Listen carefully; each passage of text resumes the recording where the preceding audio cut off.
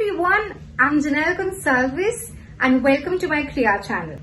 And for those of you who are new to this channel, let me tell you a little bit about myself. So I'm a vocalist, I love to sing. Uh, I'm a multi-instrumentalist, I play over 45 instruments. I'm a polyglot, I speak a couple of Indian languages and a lot of foreign languages.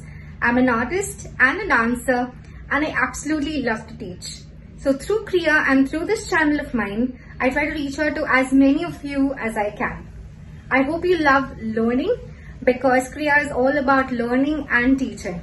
In today's lesson, we're going to be learning how to play the baby shark on the recorder.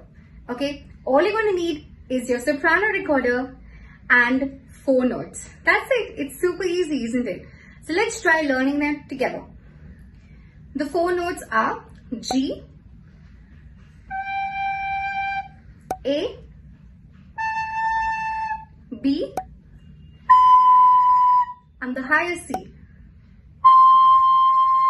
Now remember the back is always closed for all these four notes. Okay, that's it. So let's try to play the sum together. Okay, one, two.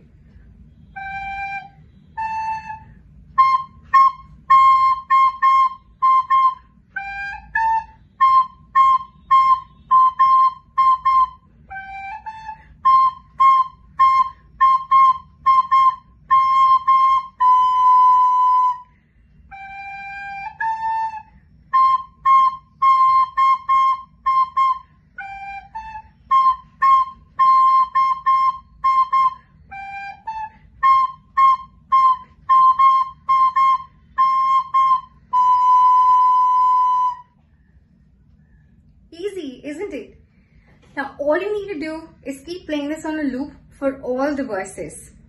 Okay, I hope you enjoyed learning this. It's super easy and for those of you who can share this video with your friends and family, please do so. Okay, if you like this video, please please click on the subscribe button and also click on the bell so that you get all the notifications for all the forthcoming videos that I'm going to be putting up. I hope you had a good class and I'll see you soon. Happy learning. Bye bye.